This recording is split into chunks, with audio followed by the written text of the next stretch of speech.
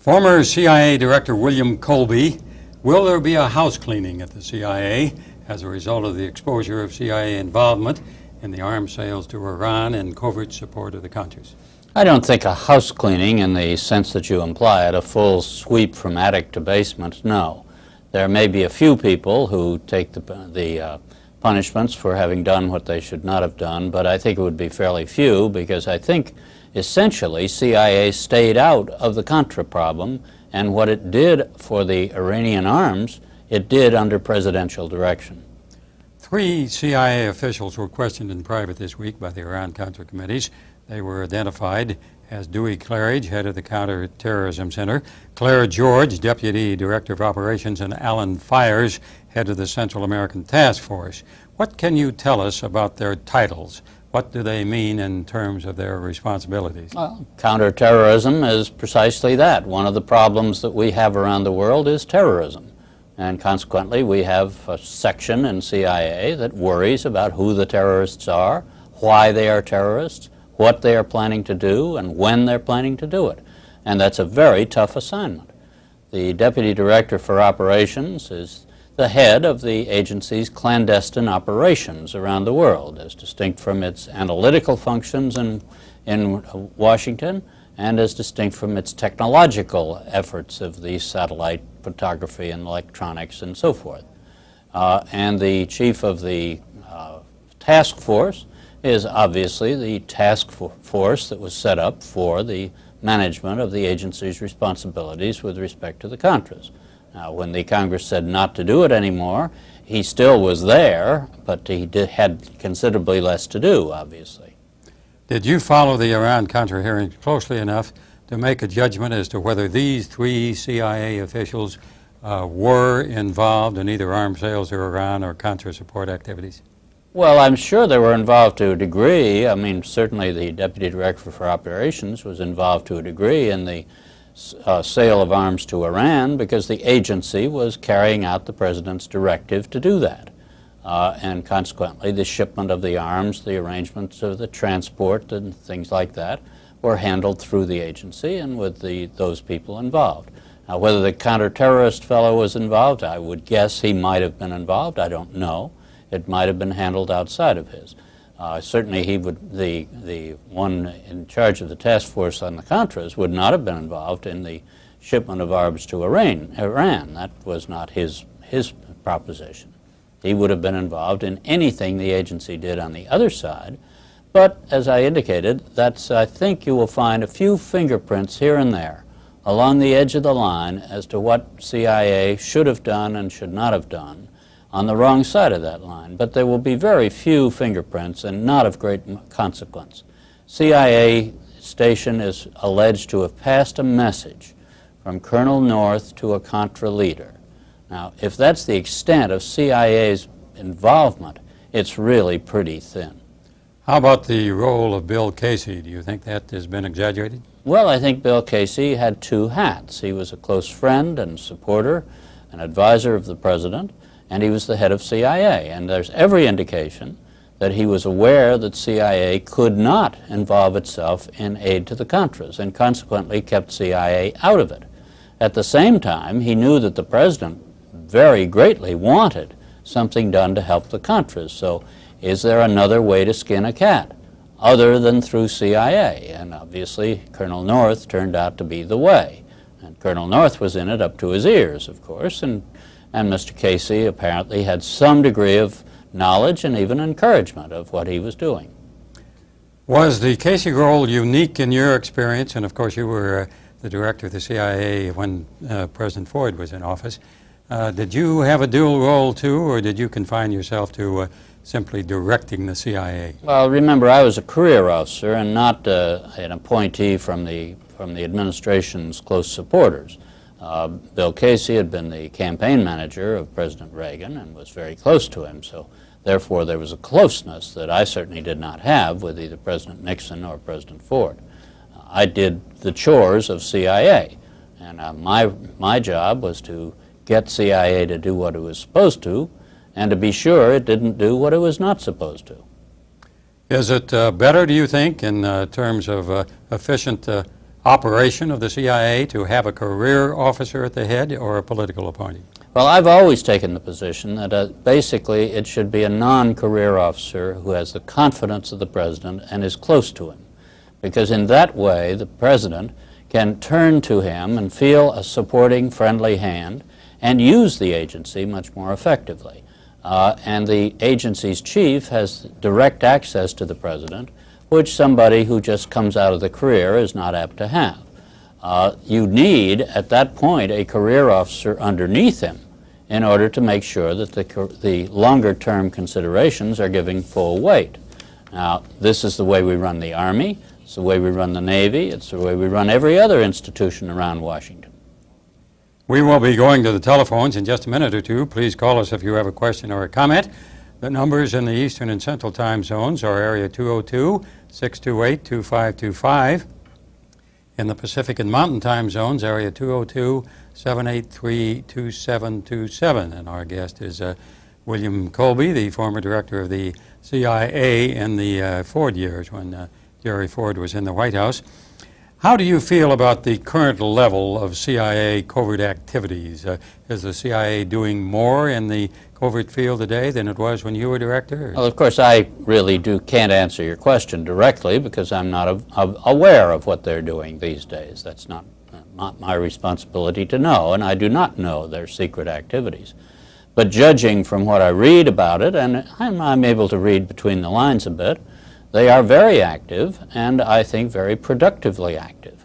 Uh, I saw a headline in the New York Times a couple of years ago that some number of millions of dollars was going to the support of the Afghan rebels. Now that aroused no trouble whatsoever anywhere in the country. The, the headline lasted one day and the story disappeared. Why? Because everybody agrees. That really makes sense. We should be helping the Afghan rebels. On the other hand, the help to the Contras is a very controversial matter, and that spills out into the press and is the subject of great deal of controversy. And that's the way we run our government. If there is a consensus that something makes sense, we go ahead and do it without much fanfare. If there is not consensus, we have dispute and, and contention. That is the natural part of the way we run our free society. Would it have disturbed you uh, if some of the aid going to Afghan rebels was diverted to support Absolutely. the Contras the in po- the Central point America. Of, I mean, if you're going to run covert secret operations, they're very difficult, they're very delicate, and they are full of potential for dynamite. And therefore, you have to run them very tightly. And you have to be sure that you've got some real pros running them, not some enthusiastic amateurs. Otherwise, the money will slip off in all directions. And believe me, CIA knows how to handle money and move it through Swiss bank accounts and take, be sure that they have the total right in their hand all the time and not have $8 million slip off into somebody's private pocket. So you think it would have been wiser for that uh, $10 million from Brunei to have gone into a CIA account into, instead Well- of into the Secord Hakim account? Well, I don't Very think we can accept money which is not appropriated, but uh, if there was a desire to handle this, there are ways that CIA could handle it and talk to the Congress about how it was handled so there's satisfaction that it's responsibly handled. We're going to take our first telephone call from Pasadena, California. Go ahead, please. Uh, good afternoon, gentlemen. Um, Director Colby. Uh, Yes. I've come to uh, appreciate your thoughtfulness and, and also your very understated sense of humor in, in these appearances on C-SPAN and at the seminars around town. Thank you. Um, I wonder, while um, uh, Casey was alive, people were faintly praising him, or, or sort of unhappily almost, uh, the Congress especially, saying that he rebuilt the CIA and the morale and and uh, rebuilt it. And yet, in these hearings, it said that we were still completely devoid of any human intelligence in, in Iran. And uh, but he has supposedly built up uh, a, massive budget and, and everything. And then when Secretary Shultz um, actually said that he questioned and had questioned for some time uh, the objectivity of, of the intelligence on Iran, because the, he didn't say the director, but that's what was implied, um, was interested in, in the policy. It makes me wonder about the the accuracy of, of the, the threat in Nicaragua, and if you have uh, um, any uh, notion about that, and also I've heard a couple of times rumors that that uh, Casey had been working with Israel to aid that group Renamo with South Africa. Have you heard anything about that? That I have not heard of. Uh, Bill Casey was a very fine leader. He was a risk taker, and if you're not willing to take risks, you cannot run intelligence operations. There's no way to run them totally safely. Uh, he had his views as to how things ought to be done. He had a great impact in building up the agency, making it stronger. Perhaps his most lasting legacy for the agency is that he reorganized the analytical department of the agency so that it was much better organized to do the job of analyzing the foreign problems that we have. Now, he obviously was a man committed to support his president. The president made no secret of two things his desire that all possible be done for the hostages and that all possible be done for the Contras. Now, Casey responded to that. One could argue with what he did on this item or that item. If I had never made a mistake, I could throw the first stone, but I'm afraid I can't. Uh, and I think with Casey, uh, he did the best he could. He overdid a few things, as you would do if you were an, a very enthusiastic man. And uh, I think in general he comes out with pluses with a few minuses. And since I have a few minuses too, I, uh, I figure that's about par for the course. We have a call from Fairfax, Virginia. If that is the county rather than the city, it is the home of the CIA. Go ahead, please. Yes, that is why I was calling. Uh, Mr. Colby, uh, Lieutenant ma'am. Colonel North owns and lives in an estate uh, in McLean, Virginia, comparable that, to that of the Kennedys. And I was wondering uh, how a lieutenant colonel on his salary, uh, how that would be possible, and what are the pay uh, scales for the CIA and the NSC? Does those uh, type of uh, checks you get from the government for doing these services, uh, would that be, you know, uh, the thing to do? Could I make a correction before you answer that uh, question? I have seen pictures of Colonel North's home, and I am familiar with the Kennedy homes, and they are not comparable. I was going to say, I rather doubt that they are comparable. The Kennedy family has a lot of money, some very fine estates, there's no question about it. As I understand it, Colonel North lives in more or less a, a modest uh, suburban home, and uh, that's about it. Which you would expect of a lieutenant colonel. That's exactly the pay he got, the same as any other lieutenant colonel anywhere in the United States Marines or Army or whatever. Uh, certainly, he is not a wealthy man. There was a certain amount of question as to whether he might have benefited by some elements of the money, and I think he very effectively answered those. Uh, the questions about the spending money on a security system for his house and things of that nature, that he answered in the testimony directly. Uh, I think the, the answer is that uh, the Colonel North certainly did not benefit from any CIA money. No question about it. He lived on his salary. He had certain perquisites that came out of his position, and he had the security system that he has justified because his family, according to him, was under threat and was not receiving the kind of protection that he wanted his family to have, and that friends of his wanted his family to have. Colonel North did, by uh, testimony before the Iran-Contra committees, have uh, numerous and frequent contact with at least three or four CIA officials. Is that a, a normal thing? It's uh, yes, it is normal. I mean, there's a working level relationships around Washington. Everything doesn't go through the top end of any bureaucratic channel. Uh, all communications from the Defense Department to the State Department do not go through the secretaries of Defense and State. Now, there's a lot of working level communication around Washington. It's subject to the policy guidance of the chiefs, but you have to have that kind of communication at the working level in order for the machinery to work at all. Portland, Oregon, please join us. Hello, this is. I'm uh, calling from Portland, uh, Mr. Colby. First of all, I want to thank you for serving the United States. Thank you, sir. Uh, we need very many more people like that who are taking a uh, firm hand and exercising their power to do so.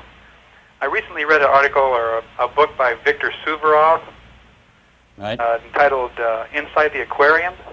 Are you familiar with that book? I'm not familiar with that one. I know that he has written some others, though. Yes, like uh, Inside the Russian Army. Right.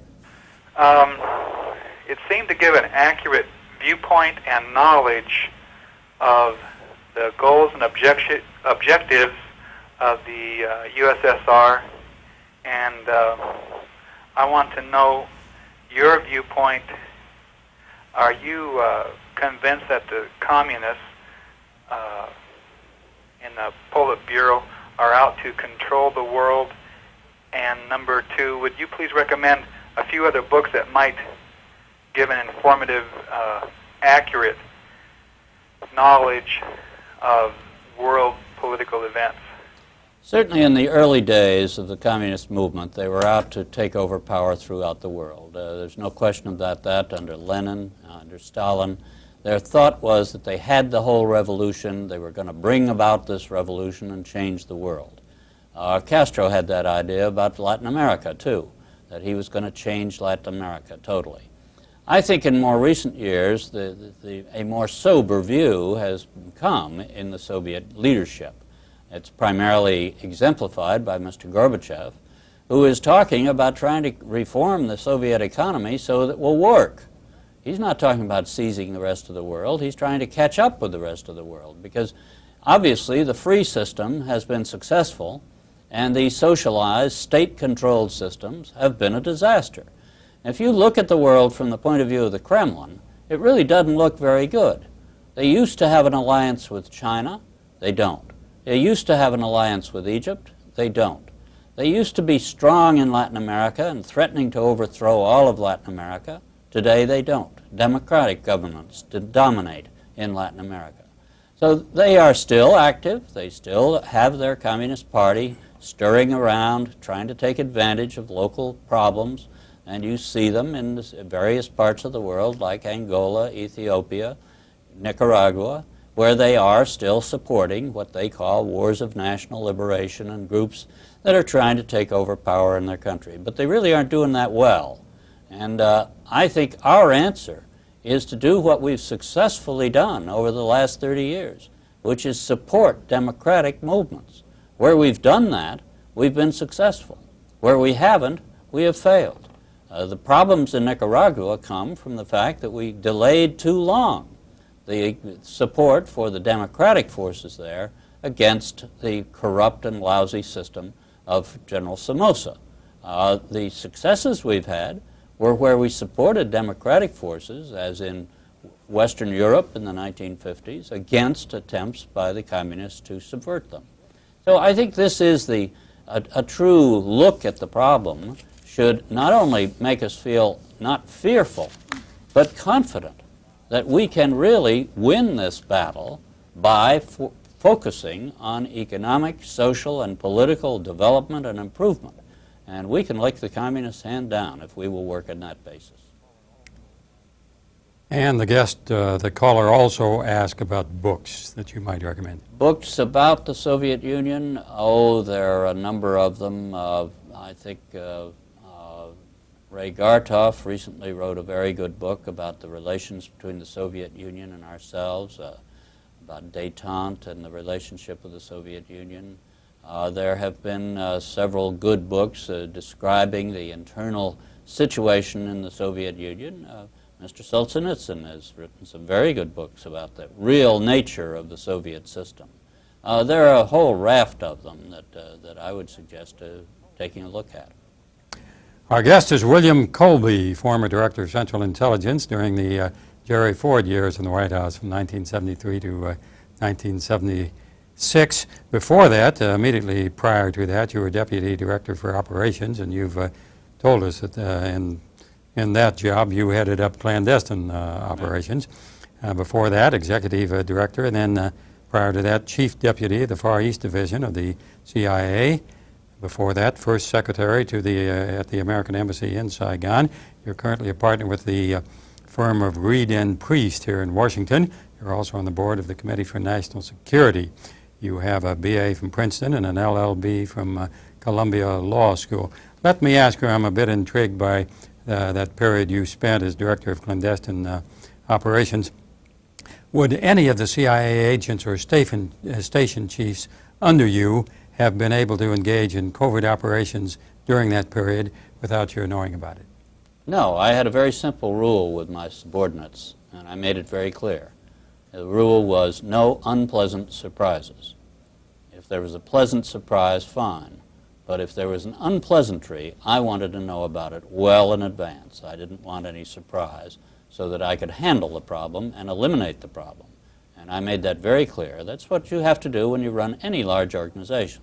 You have to insist that you have control of what that organization is doing, and particularly that's true if you're running delicate and political dynamite of clandestine operations.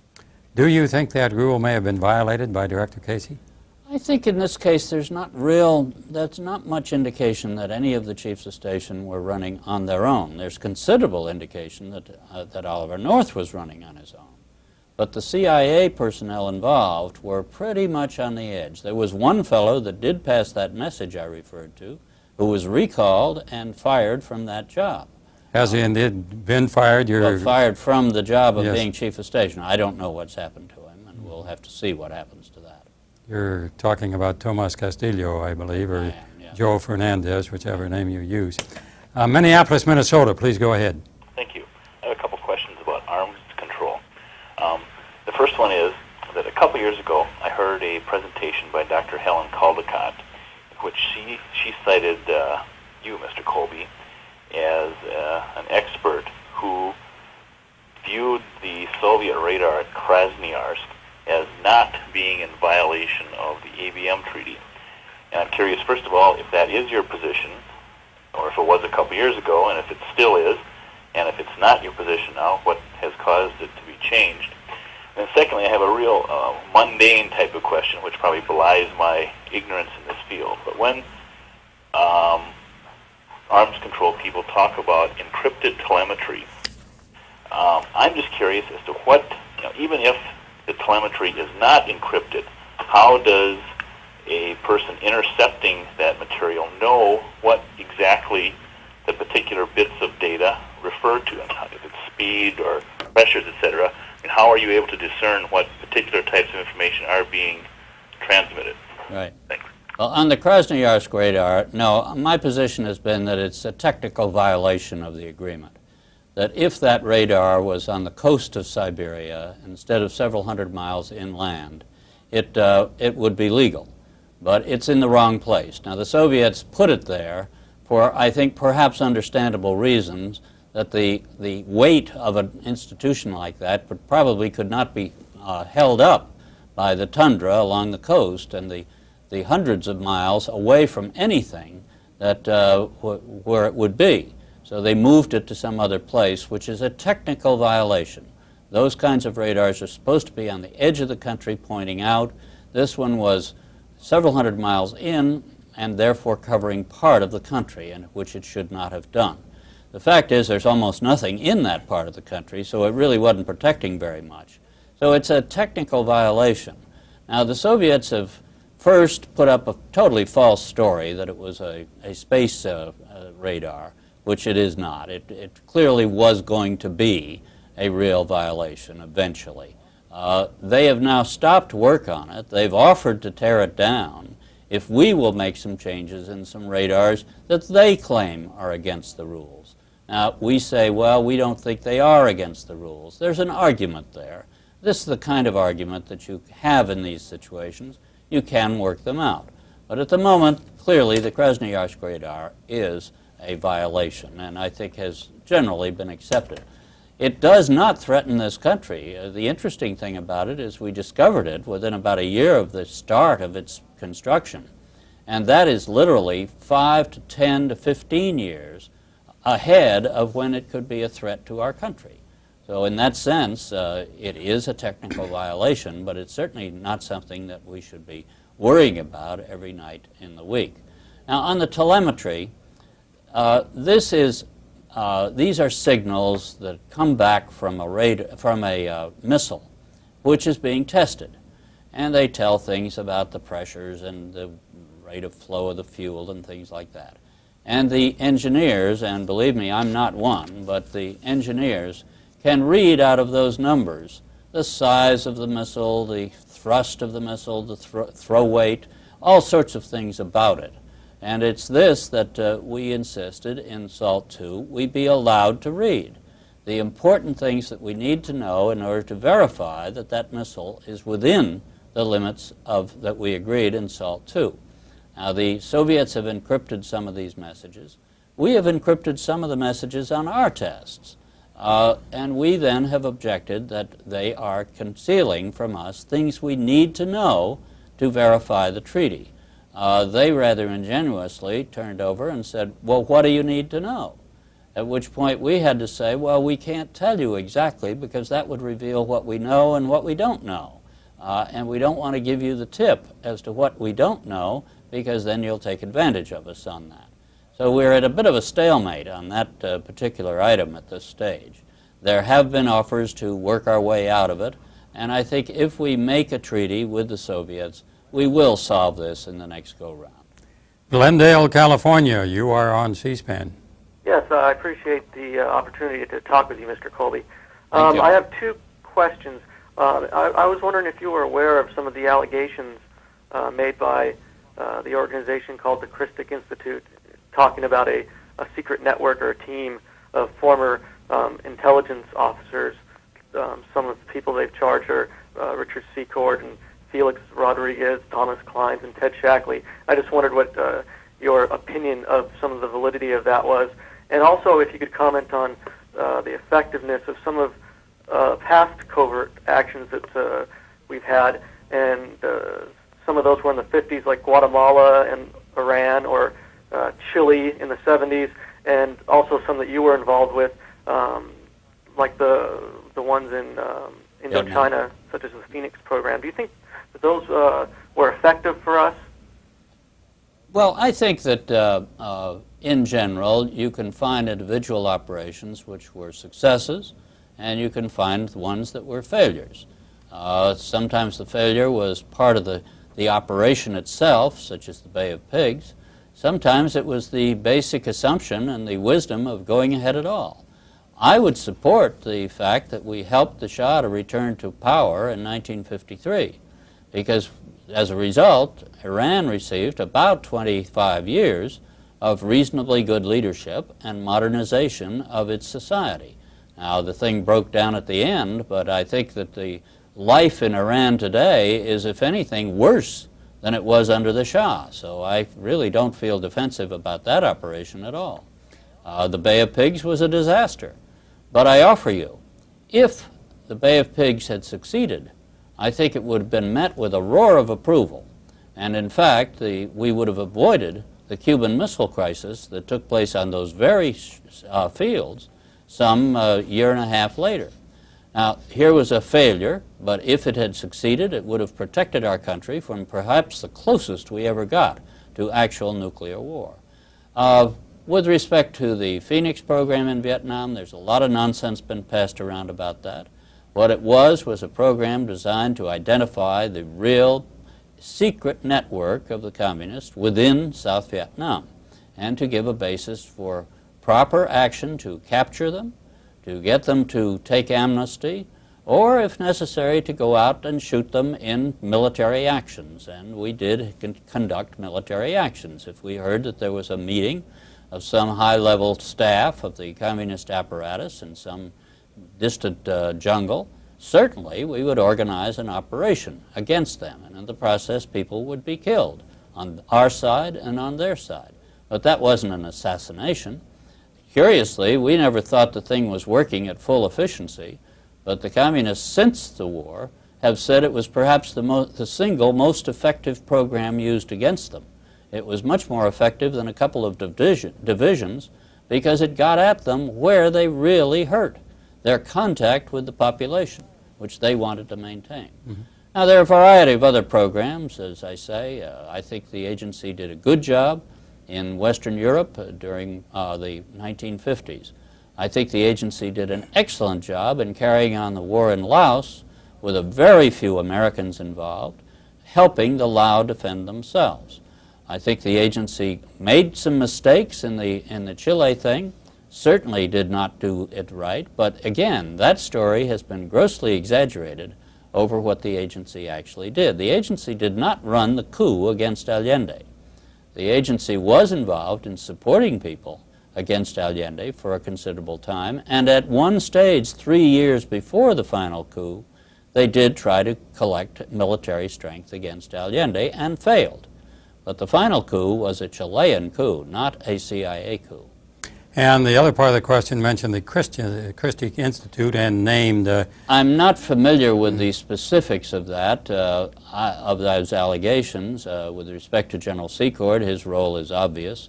I generally disbelieve these idea of a great grand conspiracy going on to run the world uh, through some key people, uh, former intelligence officers. Most former intelligence officers are living in Florida and uh, living very quiet lives down there, not uh, in, as retirees, uh, and mainly interested in their golf games and uh, watching the grass grow around their houses.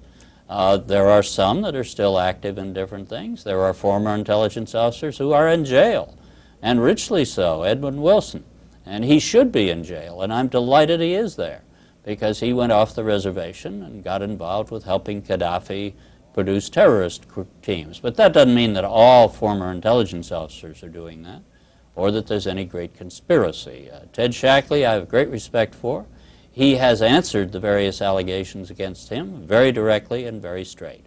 Uh, some of the other names I'm not too familiar with, but uh, I think you will find uh, both good guys and bad guys, uh, as you find over with ex-military, with ex-foreign service people, with ex-agriculture department people. You'll find both. We've been putting a few people in jail from time to time for, for corruption uh, and conflict of interest uh, in agencies far removed from intelligence. This is unfortunately something you get in a large, large society. Do you think it was just coincidence that uh, Ghorbanifar, one of the mystery figures in the uh, uh, Arms for Hostages deal, made the first, uh, his first contact uh, with any American with Ted Shackley way back in 1984? Well, Ted Shackley handled that very simply. Uh, when Ghorbanifar came up with an idea of being helpful, Ted uh, passed it on to the appropriate authorities of our government. Are you interested in this? I get these kinds of approaches all the time. People come to me and say, can I be helpful? Uh, and I pass them on. Maybe the government's interested in, maybe it isn't. It is not my problem. It's up to the government to decide, under its proper authorities, whether to follow up on leads of this nature or not. Hoboken, New Jersey. Go ahead, please. Uh, good afternoon. Hi. Uh, Mr. Colby, I have a lot of respect for you. Thank you. Uh, but uh, I have a problem with uh, some of the comments you made after the Iran affairs. Um, it seems to me, uh, you just mentioned that the CIA was very, uh, it had the capabilities to gather information uh, in these uh, Laos and other Cuba and so other countries. But uh, it seems to me that uh, you have uh, spoken out in favor of Congress putting restrict more restrictions on the CIA. I, I disagree with that, but I have two questions I want to pose to you. Number one, how is our intelligence gathering in Nicaragua before and after the communist Sandinista government took power? My second question, if you were the director of the CIA today, uh, what would it take to you uh, to tell the president, Mr. President, in Nicaragua we have a big threat. Our information uh, down there, it, it states or it tells us that uh, there are uh, some offensive uh, uh, airplanes or or any activity that might is taking place in Nicaragua because you know the Libyans, the PLO, Cubans are in Nicaragua. So uh, what it takes for you to tell the president, Mr. President, we have to do something. We have to we may have to use military force right now. Why should we, uh, the United States, go at that stage instead of uh, uh, uh helping, uh, let's say, the freedom fighters? We're running a little short of time. I think your questions are clear. Let's let our guest answer them. Well, uh, to, as to how well we appreciated the rise of the Sandinista, I think most of that was open information. There wasn't very, it wasn't very secret. That's a question of appreciation and understanding. I think the United States tried to work with the rebellion against Somoza. We continued our aid program. Uh, we, we, we, gave assistance to the new government of uh, Nicaragua. Uh, gradually, the Sandinistas grabbed power and stole that revolution away from the other Nicaraguans. I think this was followed and reported all along. Uh, the question is, could we have stopped it? I'm not sure we could have. Uh, the question whether we did enough, I, I really don't know the answer to that. That was during the Carter administration. Uh, with respect to your, your second question, however, about what would it take to identify a threat, I think what you say is the intelligence people are doing this all the time. They are following exactly the kinds of aircraft in Nicaragua. The amount of foreign advisors, foreign uh, trainers, things of this nature. And they report the facts.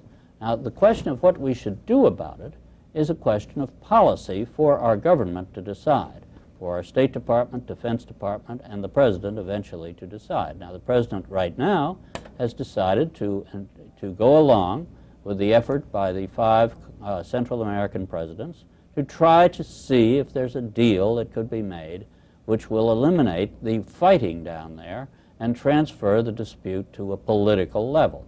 Uh, I don't know whether that's going to be possible or not, but the policy judgment was made that it's worth trying. Seattle, Washington, do you have a question for former CIA Director William Colby? Yes, I do.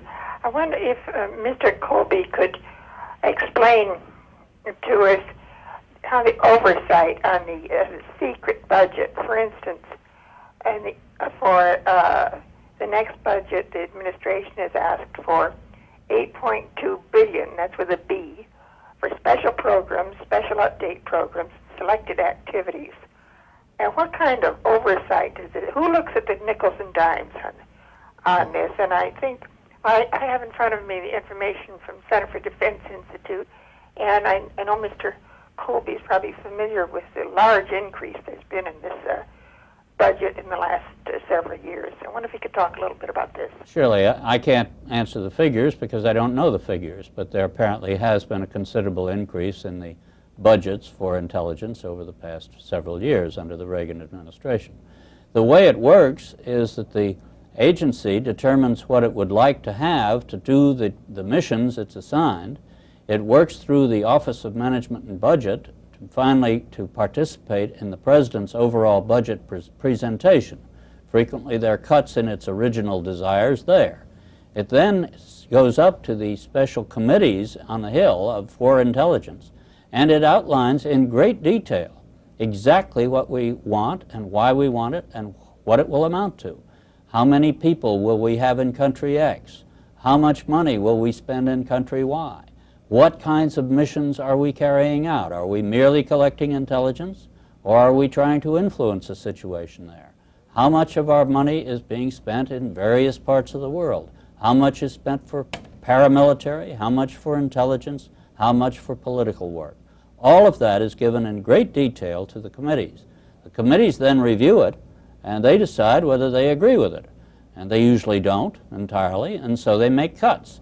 And then the final budget is set by those committees and is included in the overall budget passed by the Congress. So it receives the same kind of scrutiny that any other part of the government does. It, the only difference is that the review of the numbers is done in secret, and the committees do not publicly, publicly say what the numbers are. What do you think of the idea that has uh, been voiced again in the Iran-Contra hearings to combine the two Senate, the Senate and House Intelligence Committees? Well, ideally, I would say yes, certainly. It would make it less trouble and there would be fewer people involved. And obviously, one of the rules of secrecy is as few people as possible. Now, we do have to have the Congress involved for constitutional reasons, and I think that decision has been made.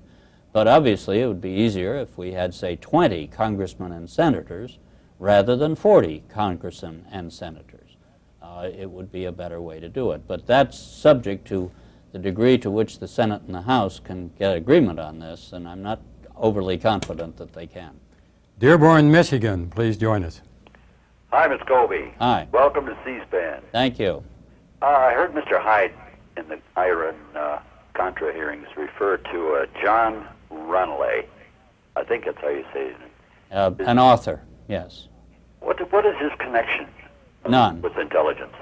Ranelagh is a British author who has recently written a book about the CIA. The I've forgotten the name of it. I think it's called The Agency. And he went around and interviewed a lot of people and read a lot of the public material and has put together a, really quite a reasonable book about it. Uh, excuse me, go ahead. Of uh, intelligence. And I was just wondering, my first introduction was the man called Intrepid. Mhm. It was about Sir William Stephenson. Right? But the author was Bill Stevenson, a journalist and a former intelligence officer. And uh, Ranelagh says that a man called Intrepid is unreliable. And I was just wondering why it, he would say that that book would be unreliable. Well, the A Man Called Intrepid, the story itself, is it's hyped up a little bit. Uh, there are some little extra excitement in it here and there. Whether some of the stories are absolutely true about carrying out assassinations of pro-Germans within the United States, I'm not so sure that those were actually done. But uh, they are in The Man Called Intrepid, as you may remember. A former CIA agent, uh, Frank Snepp, wrote a book several years ago. Uh, he was an agent and a CIA analyst, I believe, in Right. Saigon.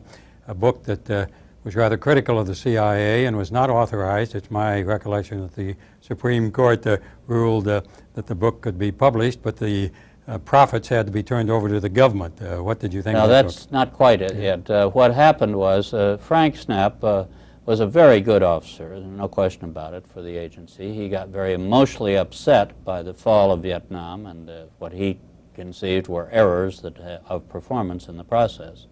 He, like me, uh, was under a requirement to, that anything he writes about intelligence be submitted to the agency for prior clearance to make sure that there were no secrets. Now, I'm under the same requirement. If I write something, I have to submit it to make sure there are no secrets in it. Uh, he decided that he wasn't going to follow that requirement. And so he published his book before the agency ever saw it. And his publisher collaborated in keeping it a secret from the agency until it was published. Now, uh, this obviously was a violation of his contract with the agency, and the agency and the government quite properly moved against him to punish him, and the, the uh, punishment was that they sequestered the proceeds that he got from writing the book. They took those proceeds away from him, and they also imposed a very direct court requirement that he be, be very sure to follow that requirement of prior clearance in any future writings that he may do. Redlands, California. Go ahead, please. Sir Director Colby, it Yes, was sir. brought out by Senator Hatch during the um, Iran Contra hearings that some members of the committee have said if you go ahead with this particular act, I'll go public, or if you take this covert operation that I disapprove of, I'll go public. Or if there's something going on they don't like they find out about, unless it's stopped, they'll go public. If since this could result in the death of Americans or American agents or American operatives, do you think there should be substantial criminal penalties put against a member of the Congress or Senate who would take it upon himself to terminate an operation and possibly somebody's life for political reasons? These were members of the Intelligence Committee they were talking about. Yes, sir. The, uh, the- I, I do think there should be penalties. Uh, one member of the Intelligence Committee has resigned from the committee and was told to resign because he revealed something which the committee had decided not to reveal. Uh, they, they, they made clear that there was nothing classified in that, but he nonetheless broke the rules, and so they fired him from the committee. He's a very good senator, but he obviously broke the rules. Uh, should there be criminal penalties? I think that uh, it might be in an extreme case. Uh, there are lots of things that a senator or a congressman can do other than going public if they disapprove of some action. It's the ultimate arrogance to say that they can stop it just by going public. Now, I don't think this happens very often. Uh, this was a case in which it apparently did happen, but uh, I don't know the specifics of it. Kingston, New York. Go ahead, please. Thank you very much. Uh, Dir- Director um, Colby, during the uh, recent Iran-Contra hearings, uh, Secretary Shultz raised the issue that the need for, uh, for intelligence uh, that might best be served, or the need for intelligence being gathered might best be served by having an agency that uh, wasn't collecting the intelligence as well as also being involved in operations and having something of a vested interest uh, in the objectivity of the intelligence. I wonder if you could uh, just speak about. Uh, Right. This has been a debate for many years as to whether you should have an agency purely restricted to intelligence gathering and analysis, or whether it should also include the responsibilities that the agency has to carry out positive operations in addition. Uh, there are arguments on both sides, uh, for and against both sides. Uh, traditionally, we have left it in the same agency, and one of the reasons is that if you try to run two independent secret operations in another country, you'll end up tripping over yourself. Uh, you'll end up recruiting the same agents, you'll end up in competition, and so forth. And we've thought it better to be able to coordinate these and make them make sense that the two agencies do this, be kept together. That you really, if you have an agent inside another government, yes, he can tell you what's happening, but he also can slip a piece of paper in at the right time to have an influence on that situation. And therefore, it does make a certain amount of sense from efficiency's point of view uh, and security's point of view to have it run out of the same office. Uh, as I say, this isn't a conclusive argument one way or the other, and there are good, there are lots of people who say we would protect our intelligence gatherers and analysts if they were separated from these positive operations, because the positive operations are the ones that always get in trouble. That the other ones don't really cause the kind of trouble that we have out of the positive operations. There's truth to that. Uh, my own view is let's run them together, but be very careful on choosing which ones we run and which ones we don't. It was Defense Secretary Weinberger, I believe, who said when he testified before the Iran-Contra committees that he was getting conflicting information from his own military uh, intelligence, information that conflicted with what he was getting from the CIA. Can you tell us a little about the various intelligence agencies in Washington and how they work together? Well, the, the fact that intelligence agency will differ on a, on a subject is no great surprise. You and I will differ on our appreciation of various things. And uh, intelligence agencies get separate information here and there and come to different conclusions. What we have is a way for them to sit down together and compare those conclusions and see what the basis for the one agency's is and why it differs from the other and what substance, substantial evidence there is that the one is right or the other is wrong. Uh, this is a highly structured situation. Once a week, the heads of the different intelligence agencies sit down together to analyze the problems that they're facing and to coordinate their activities so we don't end up tripping over each other and that sort of thing. So you don't have a separate satellite set up for the Army and one for the Navy. You send one and then you share the product. That sort of thing that, uh, that you do to approach it as a more logical way. But at the end, you will have a difference of opinion sometimes as to whether the situation in, say, Cuba is more threatening or less threatening. And uh, you will have to just work out that difference of opinion. It can be a very legitimate difference of opinion. Irvine, California, if I'm pronouncing it correctly. Go ahead, please. Good afternoon. Uh, my comment and question is in regards to uh, Israeli exports of U.S. military equipment uh, without prior approval.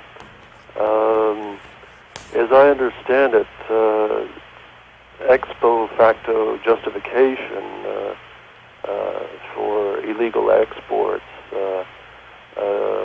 doesn't fulfill the legal obligation of Israel getting prior approval. Um, will these, if any, controls be tightened up in that regard, or will Israel continue to enjoy a very lax enforcement of those regulations? Well, as you say, the, the rules are clear that before they re-export any American military equipment, they need our approval. Uh, there have been a few occasions in which we have not seen that approval, and therefore those have been violations. I think they've been few and far between, but they have occurred. And each time they occur, they are the source of considerable discussion and, uh, and even argument uh, to make sure that in future they will behave better. I think this is a normal thing that you get uh, among allies, among nations, because the other nation is going to say it's sovereign. It doesn't have to ask questions over everything they do. They're going to they're going to say that we can do what we really need to do, and from some time to time. And you're going to have those kinds of arguments. You always do between nations. We are in an embarrassing position, Mr. Colby, where our next guest is a few minutes late. Our switchboard is still lit up with questions for you. Would you mind staying Fine. on for a little while? Fine. All right, we'll take another call from uh, Richmond, Virginia. Go ahead, please. Uh, yes, sir. Am I on the air? Yes, sir. Yes. Good. Uh, a caller uh, called a little while ago and asked for names of some other books that might be helpful in this area. And I'd like to recommend a book by Robert Moss and uh, Arnaud de Borchgrave called The Spike, and also another one called Monimbo by Robert Moss. Also, I'd like to have Mr. Colby comment on uh, the fact that uh, Mr. Ortega uh, went to Cuba and spent last night with uh, talking with Castro, and similar to the way he went to Moscow after aid to the Contras was cut off uh, uh, several months ago. Then finally, uh, I take issue with his uh, opinion that uh, the Soviets have no design or no longer desire to, to uh, dominate the world. Uh, since uh, 1917, 60 countries have been uh, taken into the Soviet camp. And I predict, uh, especially if we have a, another uh, liberal Democrat voted as president, that the following countries will take will be taken over within the next five years. South Africa, which has all the just about all the strategic minerals that uh, the West needs. The Philippines, I think, is is uh, I don't think that's going to be salvaged. Uh, South Korea is is probably going to fall. Chile, El Salvador, and I think within 10 years, uh, the domino theory is going to apply in Central America as it did in Southeast Asia. People poo-poo this, the domino theory in uh, Southeast Asia, but we see what happened after we uh, left South Vietnam. Can you put those comments in the form of a question, Yes. please, Colby? Does he think, does he not agree that uh, the fact that uh, Ortega went to Cuba last night uh, indicates that uh, the Soviets and the Cubans would not allow the uh, Nicaraguans to uh, fulfill its commitments in this recent uh, agreement because the uh, they got too much of an investment, and the Soviets have got two billion dollar investment in that little country. Well, I do not think that uh, this indicates that he that uh, he's unable to fulfill the thing. If anything, it would seem to me that what Mr. Ortega is doing is trying to show some surface indications of compliance with the requirement set by the five Central American presidents. He's the first one who had a, a, meeting in his capital to discuss the formation of a Commission of National Reconciliation. He requested the, that the Cardinal be on that commission. Now, the others have not worked. They've worked fast. This doesn't mean that he's established free press or free elections today, not by a long shot, and it will be a tough thing to see whether he will do it or not. And I would be highly suspicious at anything he does as to whether he's going to comply. But going to Cuba, I think, merely reflects that he depends very heavily upon Castro's support, and that if he's going to go through any kind of motions toward the five Central American presidents' plan, he's got to get the support of Cuba in doing it. Because Cuba has a lot of people in Nicaragua who could give him a lot of trouble if Castro told them to. Now, therefore, I think what Ortega is doing is showing a great burst of energy in apparent compliance, and I stress the word apparent, compliance with the direction of the five Central American presidents, uh, and that the visit to Cuba is a part of that. It's not necessarily rejection. It may well be, and I think you'll see, I suspect there'll be some announcement that will indicate some surface compliance, some agreement by the Cubans that if this works, they will withdraw. Something, something fuzzy and vague like that, but nonetheless designed to put the heat on the Americans to cut off the aid to the Contras. That's what that will be all about. Las Cruces, New Mexico. Go ahead, please. Good evening, Mr. Director. Yes, sir. Um, we talk about democracy all over the world, but what I'm interested in is democracy at home. And my question is this. Um, in our government, there is no document that is more important than the U.S. Constitution. And yet, with the help of Colonel North and others, um, the administration has a plan to suspend that Constitution. Could you comment on that, please? Well, I don't think the administration had a plan to suspend the Constitution.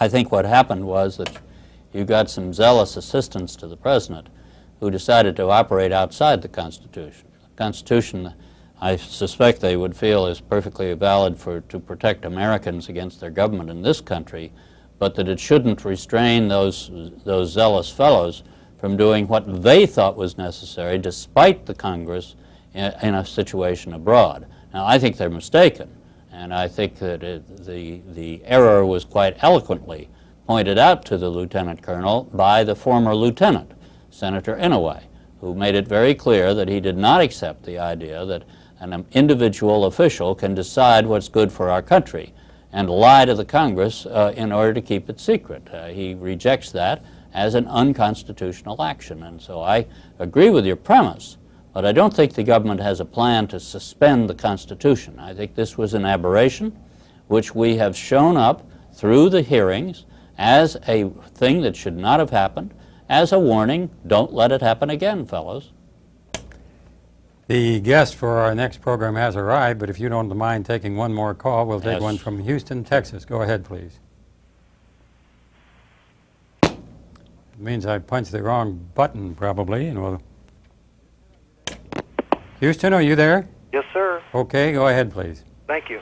Uh, Mr. Director, if you might comment uh, within your range of understanding, what took place when uh, Admiral Stansfield Turner and President Jimmy Carter retired or otherwise dismissed approximately two-thirds of the Central Intelligence Agency's field collectors of information back in, I believe it was about 1978?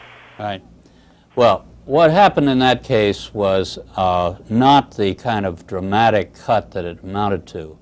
The CIA had been reducing its strength because its mission abroad had been declining ever since the late 60s. Uh, it had gradually cut some of its operations abroad and it had more people than it needed. Now, both Director Helms and myself had as an approach to that that we could reduce the agency to meet its budget limits by attrition, by just not replacing the people who retired or otherwise left each year. On two occasions, uh, Director Schlesinger and Admiral Turner said, well, no, I'm not going to wait for the three years it will take to get down to the level it should be. Let's get rid of that extra bunch now. Now, it wasn't two-thirds of the clandestine officers. It was several hundred of them. A number of them who uh, were going to retire anyway, but it was a, it was a significant group that left. Uh, it was an attempt to abide by the budget levels and the mission that the agency had. It was a considerably smaller mission at that time than it had been during the height of the Vietnam War and the various demands all over the world. And so th they made, I think, a tactical mistake in handing out pink slips, generating a great deal of hostility, uh, but essentially they did not cut the agency's lifeline or anything of that nature. They, uh, they did reduce it uh, in line with what the mission of the agency was at that time and its budget availabilities. Our guest has been William Colby, former director of the CIA. We are especially thankful to you for staying on an extra thank few you. minutes uh, and pleasure. get us through our crisis. Right. Pleasure.